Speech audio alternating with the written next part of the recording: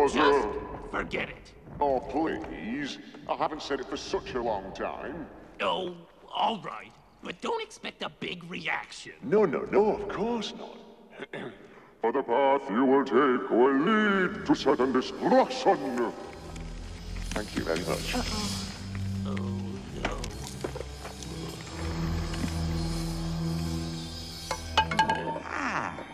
What have we here? Uh, uh, nothing. Nothing? Nothing? Nothing, tra-la-la? Your Majesty, what a nice surprise. Hello, Hedgewart. Hogwarts. Hoggle, Hoggle, can it be that you're helping this girl?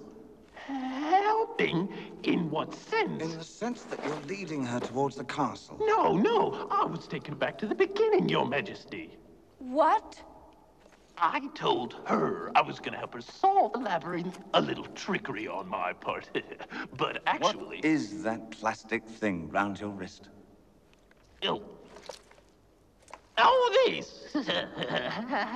oh, my goodness. Where did this come from? Higgle. Hoggle? Yes, if I thought for one second that you were betraying me, I'd be forced to suspend you headfirst in the bog of eternal stench.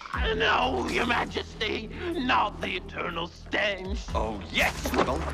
And you, Sarah. How are you enjoying my labyrinth? It's a piece of cake. Oh, Really? Then how about upping the stakes? Hmm? It's not fair. You say that so often. I wonder what your basis for comparison is. So the labyrinth's a piece of cake, is it?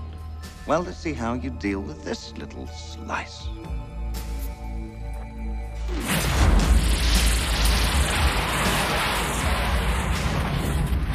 No, no, the?